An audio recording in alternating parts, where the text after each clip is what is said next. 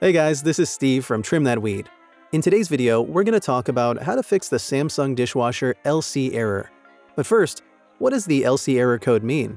When the dishwasher shows an LC error, this means that its leak sensor is detecting water leaks or moisture in unwanted parts. In modern Samsung dishwashers, the lower tray has a water leakage sensor that allows it to sense any possible flooding or moisture.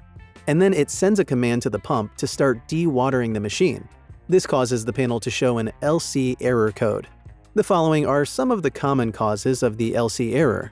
Cracks in the filling valve or water hose. This is a common occurrence when you spot the LC error in a Samsung dishwasher, because the water seeps out of the hose and into the lower tray of the dishwasher. If it's a major problem and you see a puddle of water, this could also indicate that there's a valve failure, such as jamming or sudden opening. The valves control the water level, so this is important to observe. Excess detergent. If you overfill the detergent dispenser on the machine, it's likely to bring up an LC error message because it's sensing excess detergent. Damaged seal door.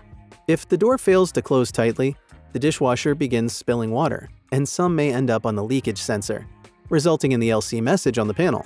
Not only can water spillage affect this, but it also can happen due to debris and grease spills on the door seal.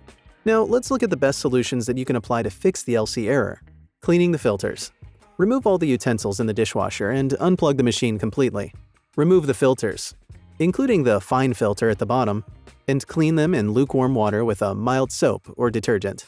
If the filters are worn out, replace them immediately. If not, clean them, allow them to dry, and then replace them in their correct positions. Run a normal cycle while observing the dishwasher to see if it's running correctly. Examine the drain hose. Examine the drain hose and see if it looks pinched or kinked. Straighten it out if this is the case, or replace it if it's worn out or severely damaged.